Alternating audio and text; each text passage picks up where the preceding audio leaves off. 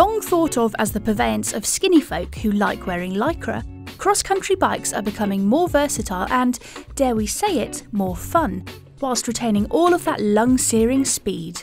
Here are five fresh bikes we think are well worth a look in 2018. Specialized's full suspension Epic is one of the most recognisable bikes on the XC scene, having won everything from the Olympics to the Cape Epic and numerous World Cups. With the old Epic, Spesh took the approach of if it ain't broke, don't fix it, leaving it unchanged for four whole seasons. In top end race bike years, that's a hell of a long time. For 2018, those cool cats from Morgan Hill have updated the Epic to match modern cross country racing. This means longer reach and slacker geometry squeezed into a lighter overall build. Specialized's patented brain technology has also been updated, with the automatic lockout system being slimmed down and moved closer to the rear axle. This should make it more sensitive to smaller hits and, we're hoping, negate some of the clunk that brains of yore have been known to exhibit. Regardless, this is a bike you'll most definitely be seeing at the front of many a race in 2018. Nicolai are well known for their polarising long and slack trail bikes, and they've applied the same philosophy to this reincarnation of their classic Saturn. The Saturn 11 Raceline could be classed as the Swiss army knife of XC bikes, meaning it's designed to do much more than endless laps of your local race circuit. As you'd expect from Nicolai, it's plenty slack, with a head angle of 67.6 degrees However, this has been combined with a steep seat angle of 74.5 degrees. The theory is this gives you the best of both worlds, with trail friendly handling and a position that keeps you over the bottom bracket for efficient climbing. Being made from aluminium, we don't think you'll be seeing a Nicolai on the podium at a World Cup anytime soon. But if you want something that offers far more versatility, then it's worth a closer look.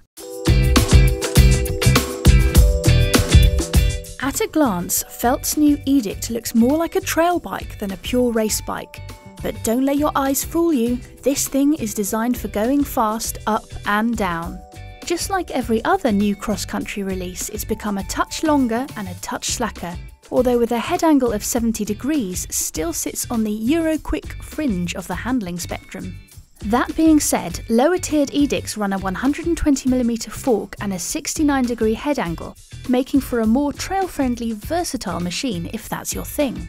The early verdict from our veteran tester Guy Kesteven is that it is indeed a very fast and very fun bike, so we're looking forward to spending more time aboard the Edict in 2018. The Scott Spark isn't new, but if you want a bike that walks the walk as well as talking the talk, then it's hard to overlook having been piloted by Nino Schurter to a perfect race season in 2017.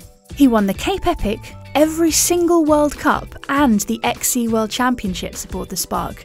That's basically every race that counts.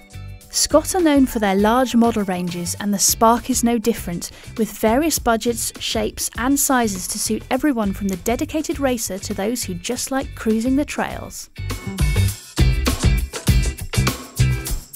If you're tired of seeing bikes from the Big S, then you're going to be disappointed with this list and with the 2018 race scene. For 2018, Specialized updated most of their biggest race bikes on and off road, and it would be impossible not to include the Epic Hardtail on our list. We've already seen it being raced at the highest level under Specialized's elite riders in the 2017 season, thanks to its standout feature sheer lack of mass. Overall builds come in at around the 8.5 kilogram mark, and frame sets weighing a mere 845 grams in medium. At the time of release, that was lighter than Specialized's flagship road frame, the Tarmac. Just like its full suspension sibling, it's a little longer and slacker to help cope with modern cross-country courses, proving that there's plenty of life left in the humble hardtail design.